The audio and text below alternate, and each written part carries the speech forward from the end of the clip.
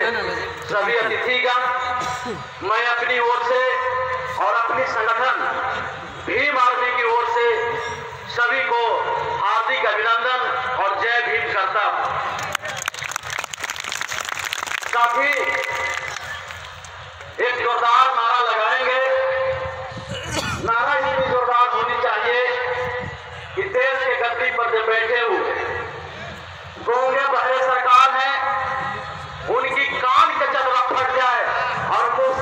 निकलने लगे।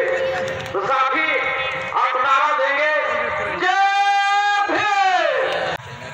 इस लड़ाई में जितना इस देश के मुस्लिम समाज आगे हैं, शायद हम दलित भाई उतना आगे नहीं है, जबकि इस कानून से, इस काले कानून